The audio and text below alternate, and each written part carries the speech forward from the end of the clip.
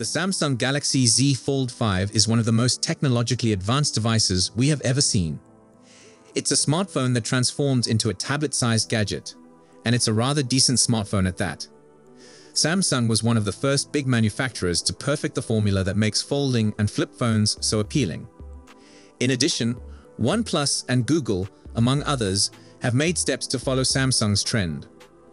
However, if you want the best folding smartphone, you must have a Samsung Z Fold. So you should purchase a Z Fold 5, correct? Well, not really. While the Z Fold 5 is amazing, there is another gadget you should consider if you plan to buy a foldable phone in the next few months. The device is, of course, the Z Fold 6. While the Z Fold 6 is not yet official, there has been a lot have been revealing practically everything we can expect from Samsung's latest folding gadget.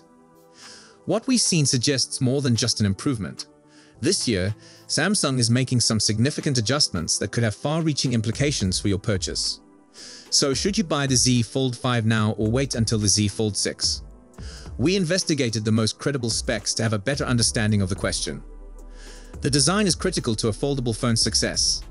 It must not only look good, but it must also have a near-perfect mechanism and hinge to withstand the hundreds of folds it will experience over its lifetime.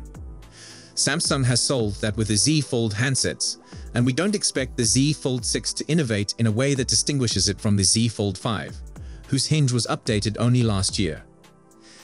However, this does not imply that there is no space for improvement.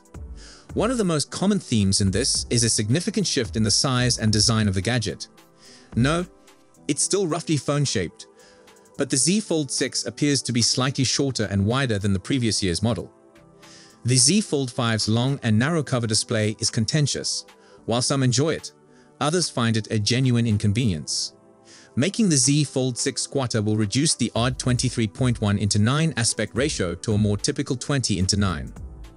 This also points to a change in aspect ratio, but no one seems to agree on whether this means that display sizes will change. Early leaks stated that the cover display could grow from 6.2 inches to 6.4 inches, but further renders from OnLeaks indicated that the display size would remain intact. OnLeaks is a well-known leaker with a long history, but so does Ice Universe, who appeared even later to announce that the cover display would be increased to 6.3 inches. The inner display would remain 7.6 inches, but with a significantly more square aspect ratio due to the dimension adjustments. So what does this mean for your purchase?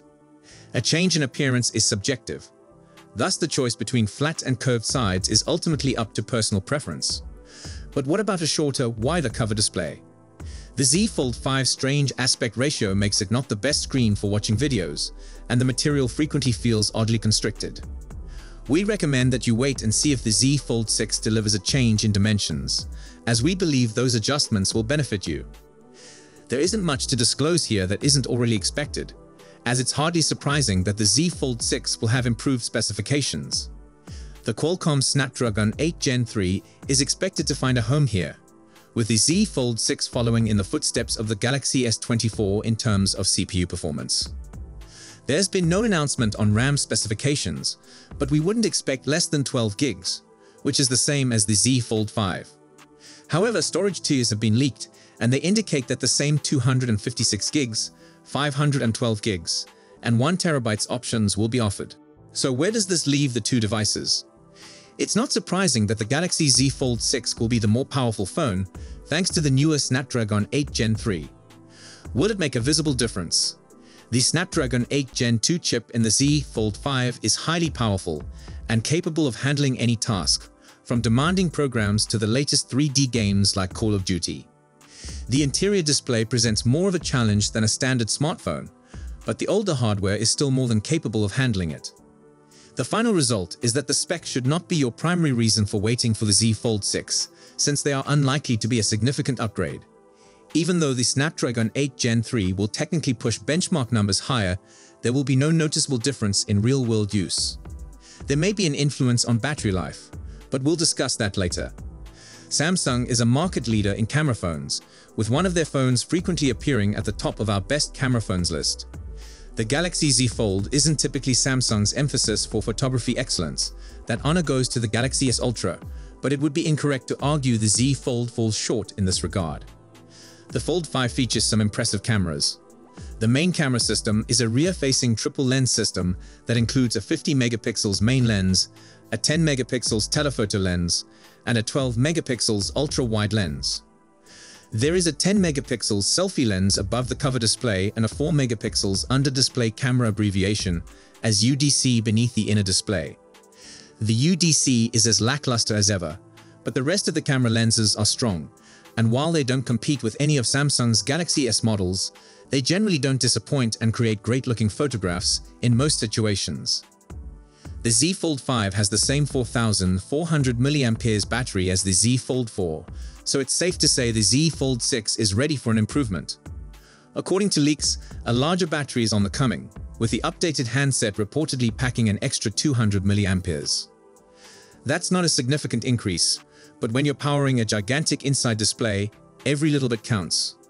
Furthermore, keep in mind that the predicted Snapdragon 8 Gen 3 processor will have increased power efficiency than previous chipsets, resulting in a longer battery life for the Z Fold 6. Aside from that, there have been few speculations of further potential rises. Unfortunately, there is no mention of any increases in the pricing rate. The Z Fold 5 is limited to a 25 watt charging rate, which is simply unacceptable for such a high-end product. Hopefully, Samsung will do the right thing and raise the Z Fold 6's charge rate, but there is currently no evidence that this will happen. There isn't much to say about the direct software. The Z Fold 6 is likely to come with Android 14, just as the Z Fold did with Android 13. Both devices will have the same software Samsung's One UI so you can expect comparable experiences on both. The Z Fold 6 is likely to incorporate Galaxy AI, but it is already coming to the Z Fold 5, so it isn't a big issue. However, the Z Fold 6 is expected to have an advantage in terms of software upgrades. Samsung recently increased its update commitment to an amazing 7 years, implying that the Z Fold 6 will likely receive significantly more upgrades than the Z Fold 5, which receives an admittedly impressive 5 years of updates. However, if you buy the Z Fold 5 today, you'll get 4 years of updates, with the Z Fold 6 adding 3 more years. If lifespan is essential to you, as it should be for a smartphone this pricey, the Z Fold 6 appears to have a significant advantage here. Typically, we expect to see a new Z Fold device in August, but this year may be different. Samsung is preparing for an early release of the Z Fold 6. How early? Instead of mid-August, we could see the new smartphone in early July, with smart money on July 10. Why so early? And Samsung intends to deliver the smartphone before the 2024 Summer Olympics in Paris. Samsung has previously run marketing campaigns during the Olympic Games, and 2018 could be no exception. So, should you wait for the Z Fold 6, or should you get the Z Fold 5 now? Normally, we'd say it comes down to how important the alleged upgrades are to you but the suspected existence of the Z Fold 6 Ultra complicates that answer. At the moment, even the most reputable and well-known leakers are unsure if the specs and designs correspond to the Z Fold 6 or a prospective Z Fold 6 Ultra, making a definitive response difficult. However, with the probable introduction of the Samsung Galaxy Z Fold 6 so soon, it's best to keep your powder dry for now. Even if the potential of a Z Fold 6 Ultra does not appeal to you, and the Z Fold 5 appears to be a strong option regardless of upgrades, the chances of last year's model receiving discounts are considerable. With the Z Fold 5 costing well over four figures, these discounts might be extremely welcome and save you a significant amount of money. So our current advice is to wait and see what Samsung announces at its upcoming Unpacked event. With the Z Fold 6 anticipated to debut as early as July and possible reductions on the Z Fold 5, you have little to lose and everything to gain. So tell us what you think about this comparison in the comments section. Then I will see you in the next one. See you tomorrow. Goodbye.